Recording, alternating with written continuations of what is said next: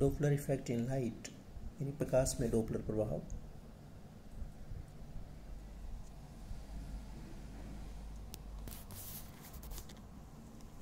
प्रकाश स्रोत तथा प्रेक्षक की सापेक्ष गति के कारण प्रकाश की आवृत्ति अथवा तरंग दैर्ध्य में प्रेक्षित आभासी परिवर्तन को प्रकाश में डोपलर प्रभाव कहते हैं।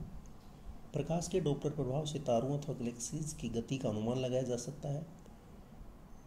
यदि कोई तारा पृथ्वी पर स्थित प्रेक्षक से दूर जा रहा हो अथवा प्रेक्षक की ओर आ रहा हो तो इसके प्रकाश की स्पेक्ट्रम रेखाएँ स्पेक्ट्रम के दीर्घ तरंग दैर्ध्य अथवा लघु तरंग दैर्ध्य यानी कि लाल भाग अथवा बैंगनी भाग की ओर विस्थापित हो जाएँगे। इस घटना से तारे का वेग ज्ञात किया जा सकता है। यदि तारे की स्पेक्ट्रम रेखाएँ स्पेक्ट्रम के दीर्घ तरंग दैर्ध्य यानी रेड शिफ्ट की ओर विस्थापित है तो तारा पृथ्वी से दूर जा रहा है और यदि वे लघु तरंग दैर्ध्य यानी कि ब्लू शिफ्ट की ओर विस्थापित हैं तो तारा पृथ्वी की ओर आ रहा है।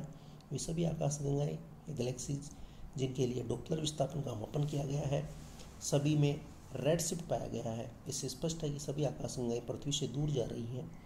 यह तथ्य स्पष्ट करता है कि विश्व का प्रसार हो रहा है means expansion of the universe हो रहा है। इस प्रकार यदि हम कालक्रम में पीछे की ओर देखें तो तमाम आकाशगंगाएँ आज की अपेक्षा आपस में पास पास थी, तथा लगभग पंद्रह अरब वर्ष पूर्व जिसको बिग बैंग के अनुसार तेरह पॉइंट आठ वर्ष बिलियन वर्ष पूर्व समुच्च ब्रह्मांड की सभी आकाश गंगाएँ या उन सभी आकाश गंगाओं का पदार्थ एक बिंदु पर केंद्रित था, जिसे वैज्ञानिक विलक्षणता का बिंदु या the point of singularity the point of singularity कहते हैं, जिसके विस्फोट से ब्रह्मांड की उत्पत्ति हुई। इसी विस्फोट को बिग बैंग कहा जाता है।